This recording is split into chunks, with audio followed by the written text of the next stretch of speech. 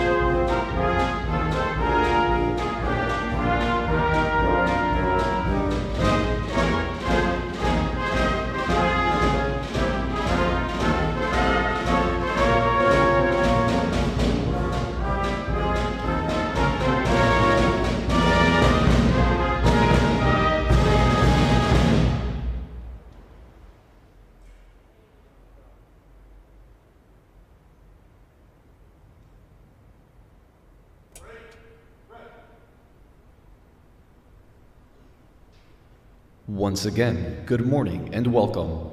Today, the United States Army Military District of Washington, represented by the soldiers of the 3rd United States Infantry Regiment, the Old Guard, and the United States Army Band, Pershing's Own, pay a special tribute to several soldiers who are retiring after many years of distinguished service to the United States Army and our nation.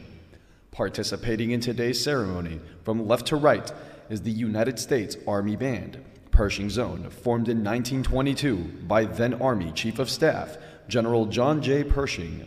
The United States Army Band is the premier band of our senior service. Pershing's Own provides musical support for ceremonies and special events in our nation's capital and throughout the United States. The United States Army Band is under the direction of Major Day Kim and led by Drum Major Rob Moore.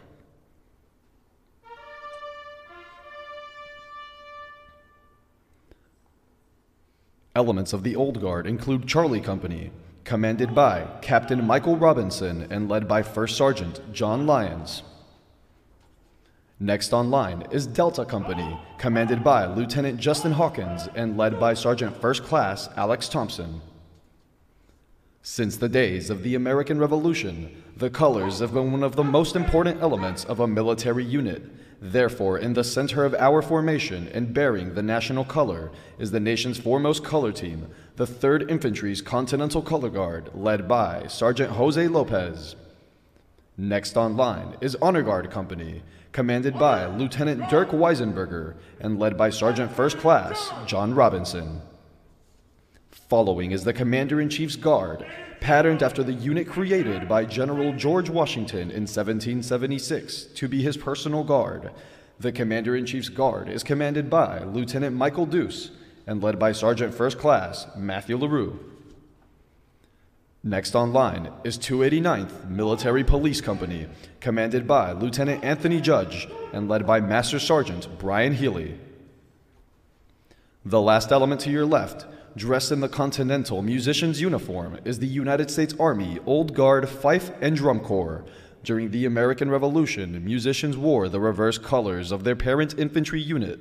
The men and women of the United States Army Old Guard Fife and Drum Corps maintain this tradition by wearing red coats instead of the infantry blue. The Corps is led today by Drum Major John Parks.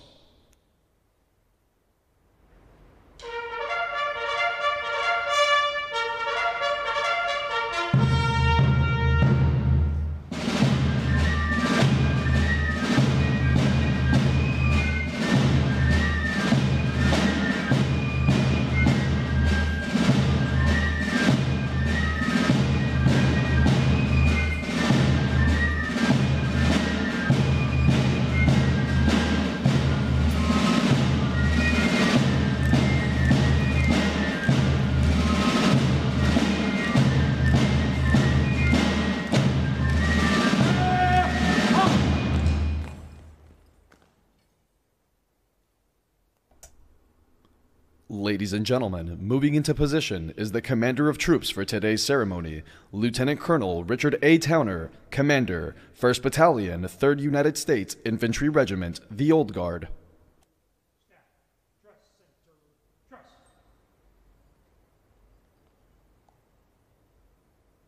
Staff ready front.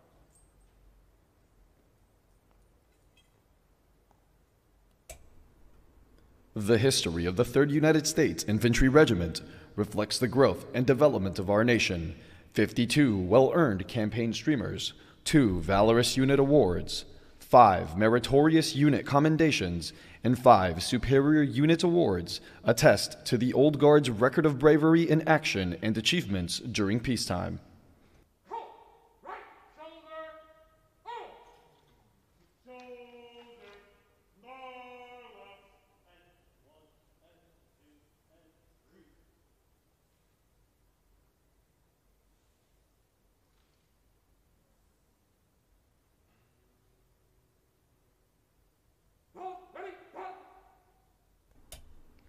Ladies and gentlemen, taking the reviewing stand are the hosts for today's retirement ceremony Major General Omar J. Jones, Commanding General, United States Army, Military District of Washington, and Command Sergeant Major Richard A. Woodring, Command Sergeant Major, United States Army, Military District of Washington.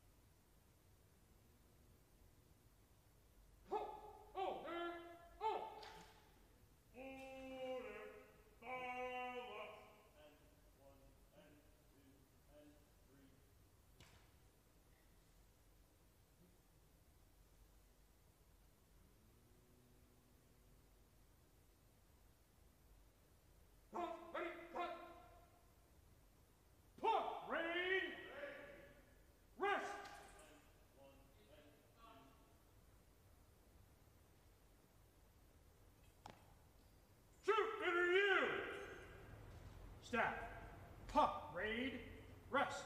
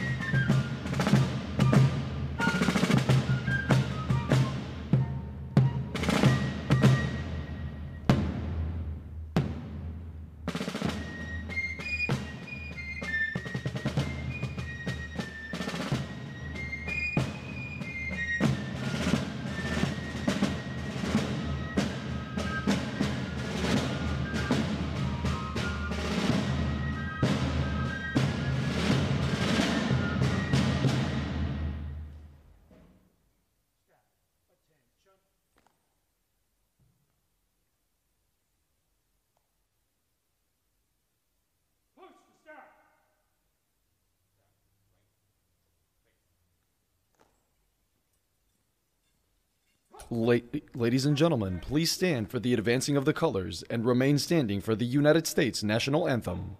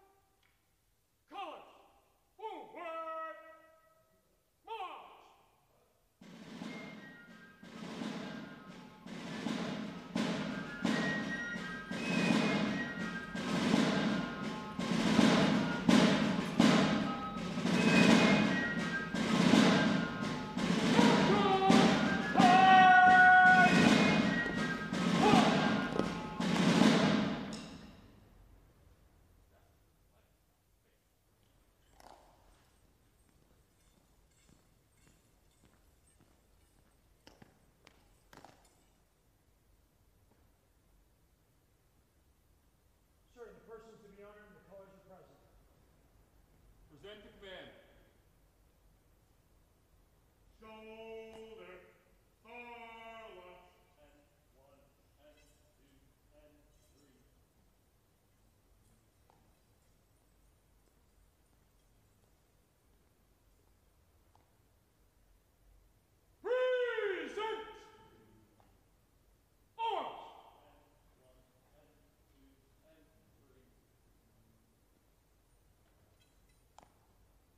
Detachment. Present.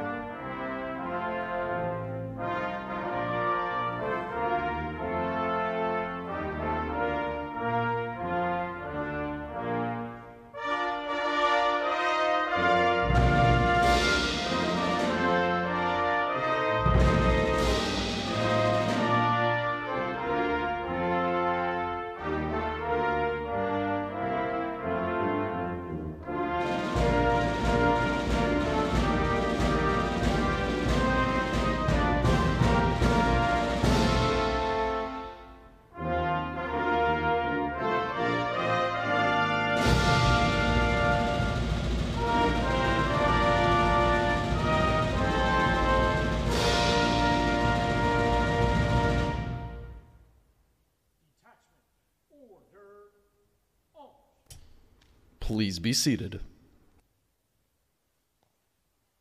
Order. Arms. Order. Fire.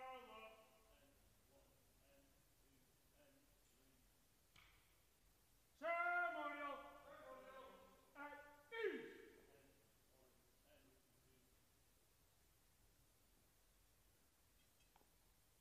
Staff.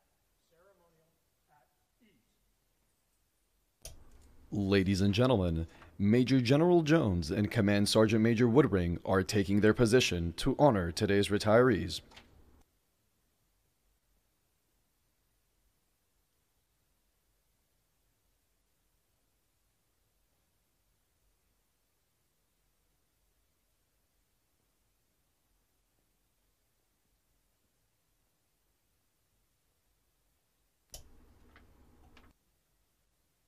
Headquarters Department of the Army Special Orders.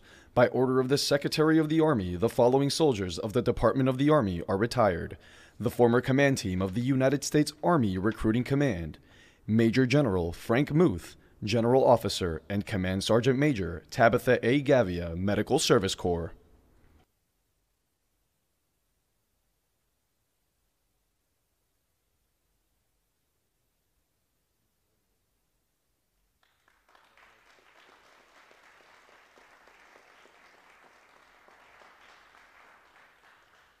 Colonel Sharon A. McBride, Medical Service Corps.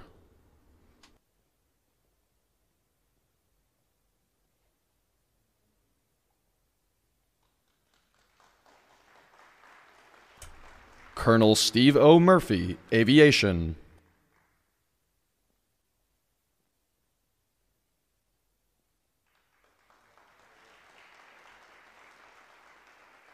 Colonel Raymond A. Robinson, Chaplain Corps.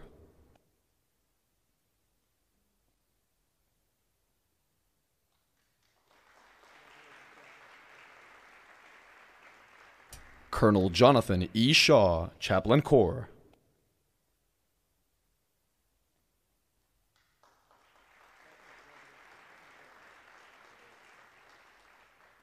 Colonel Jeffrey D. Waters, Chaplain Corps.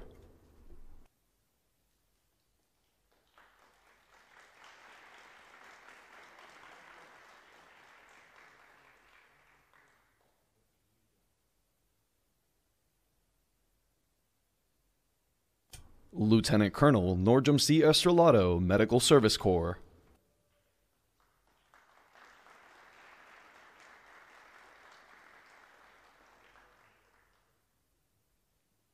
Lieutenant Colonel Russell H. Fox, Aviation.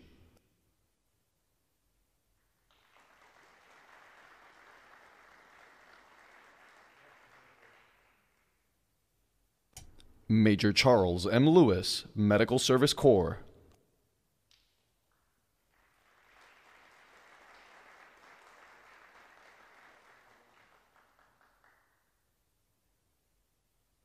Major James A. Metz, Artillery.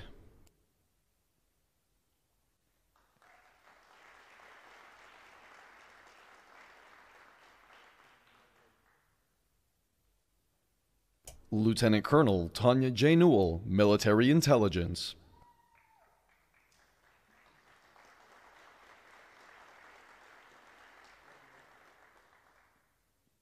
Major Benjamin Ruschel, Infantry.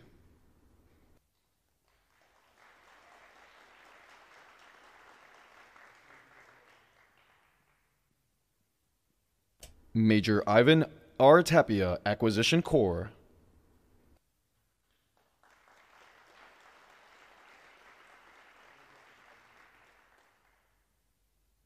Chief Warrant Officer 5, Valentine D. Grant, Adjutant General Corps.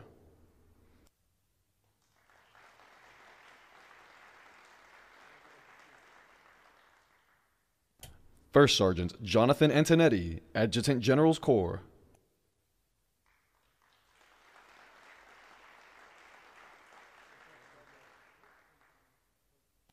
First Sergeant Marquez A. Jones, Quartermaster Corps.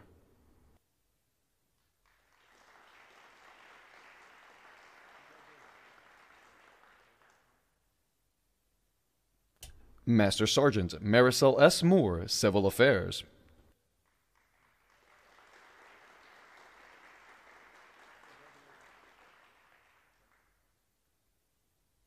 Master Sergeant Benjamin R. Urbanick, Ordnance Corps.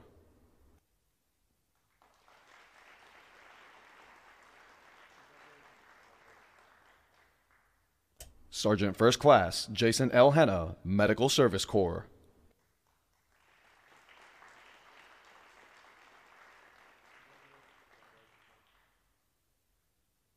Staff Sergeant Sean L. Munn, Quartermaster.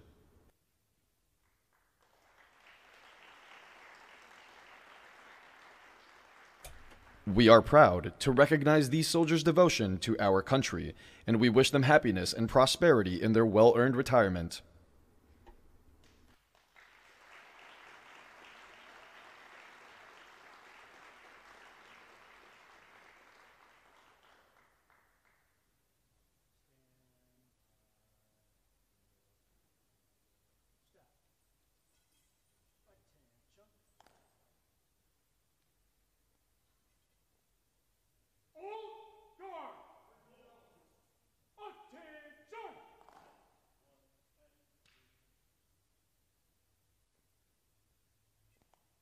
Ladies and gentlemen, please stand for the posting of the colors.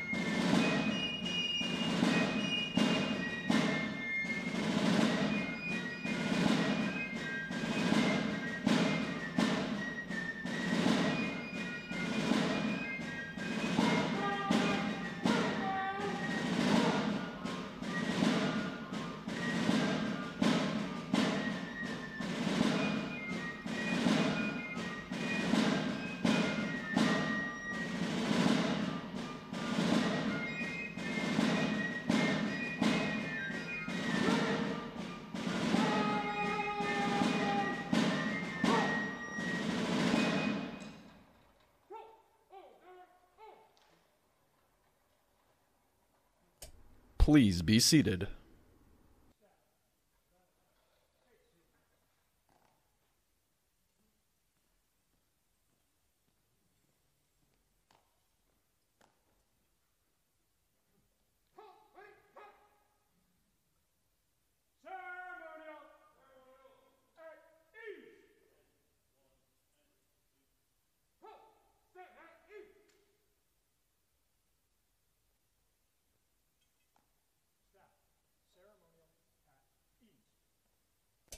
Ladies and gentlemen, Major General Jones.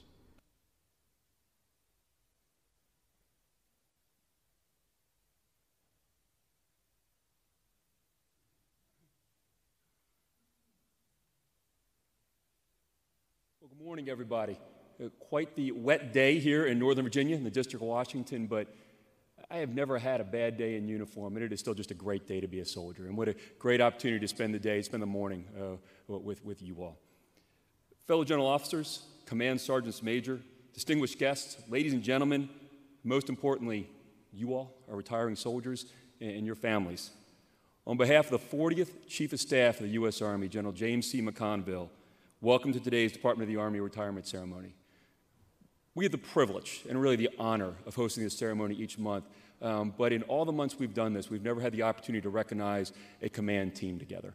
Um, I want to thank you both uh, for your service and your leadership over the decades, and especially as a command team for U.S. Army Recruiting Command, to be able to inspire thousands and thousands of young Americans, the sons and daughters of America, to raise their right hand and to join our ranks. Uh, what you have done for the Army the past two years is just tremendous. And I thank you both, and thank you for joining us today.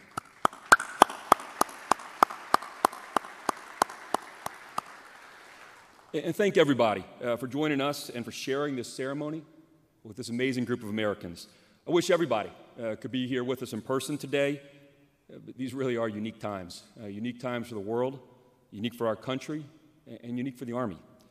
But they're also special times.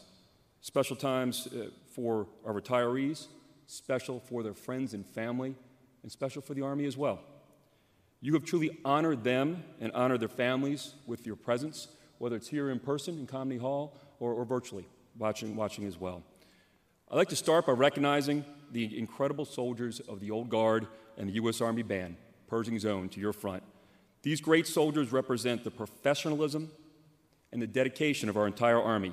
Over one million soldiers in uniform today, and they make this ceremony, just like everything they do, memorable. Today, I want to talk for just a couple minutes about selfless service. It's one of our values, it's one of the Army values, and it's something that the soldiers that just stood in front of us have personified throughout their careers.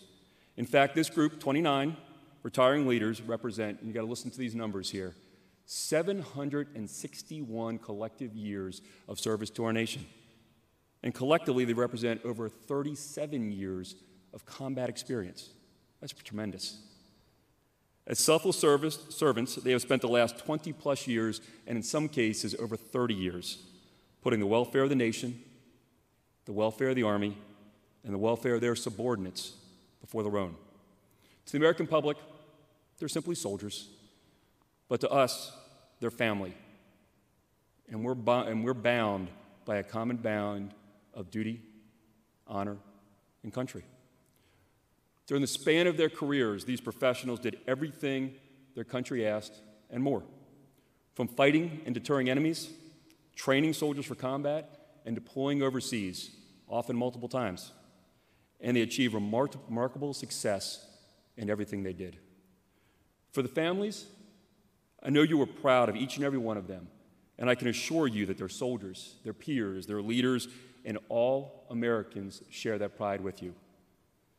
The great journalist Tom Brokaw coined a phrase, quote, the greatest generation. He was referring to the men and women who grew up during the Great Depression and went on to serve and fight and win the Second World War. He wrote, quote, that these men and women fought not for fame and recognition, but because it was the right thing to do, unquote. Like Mr. Brokaw's greatest generation, the leaders we honor in this ceremony also served selflessly, not for fame, not for recognition, but simply because it was the right thing to do. They served, and in many cases fought, in places like Kuwait, the Balkans, Afghanistan, Iraq, and countless other places around the world. They trained in the hills of Korea, the deserts of California, the swamps of Louisiana, and the snow covered fields of Europe, all while sacrificing time with their families. And our nation's commitment to our nation, our Army's commitment to our nation, continues today as soldiers defend our freedoms around the world and they protect us here at home from this pandemic. When you ask these soldiers why, they'll often break eye, contact, they'll look down at their shoes, and they'll humbly respond, I wanted to serve my country, and I just wanted to make a difference. what a difference each and every one of you made. These great leaders kept our country safe during some extremely challenging times, and their uniforms tell their story. The ribbons, the badges, the patches reflect their service, their skills, their assignments, and the golden stripes you see on their right sleeve reflect their combat tours of duty. Their uniforms tell the story of an Army profession, of battles fought and battles won, of overseas missions to aid those in need, and of valor and sacrifice. But for every ribbon, every badge, every combat stripe, there's a story that is not told. The story of a family who served alongside our soldiers, who shared in their sacrifices and provided our soldiers the support, the strength, and the courage to accomplish what our nation asked. Our families are truly the strength of our Army and the strength of our soldiers. So, on behalf of the nation, I thank the families for your unwavering support to our soldiers and your unfailing support to our Army. Please join me in a round of applause for all Army families.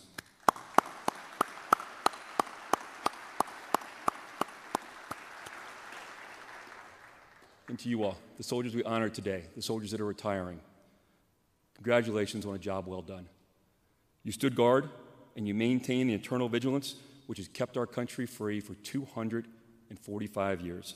I'm honored to have served with each and every one of you.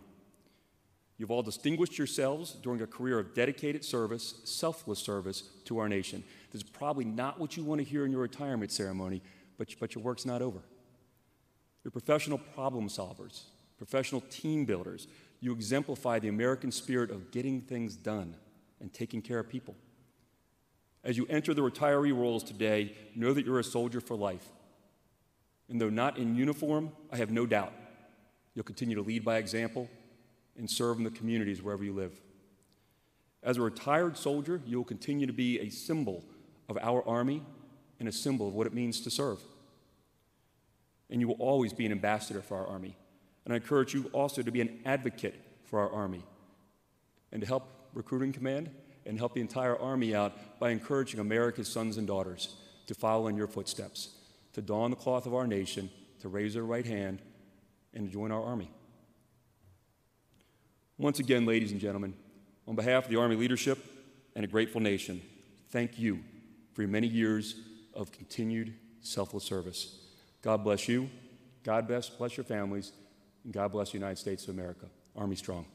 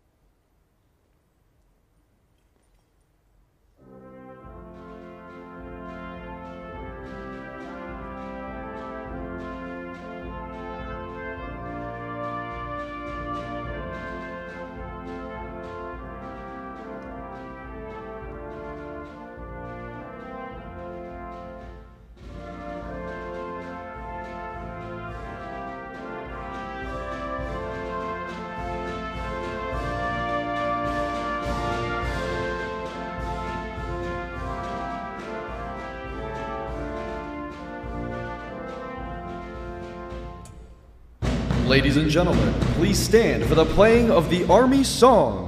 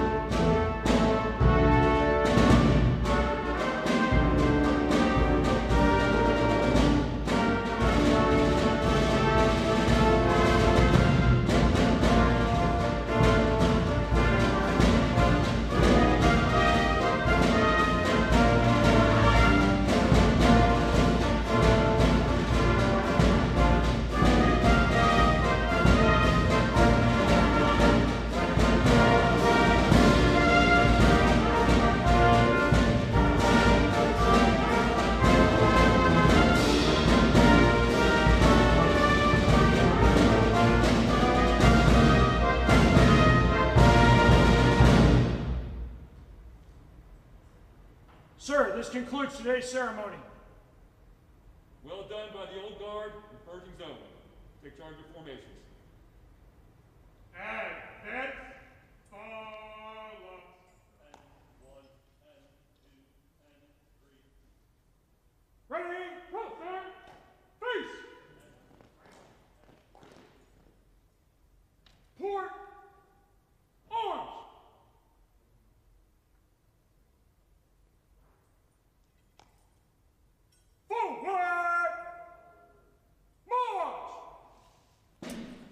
The United States Army is honored to have presented today's special ceremony. As you exit, please continue to follow all social distancing guidelines. Thank you for attending and enjoy the rest of your day.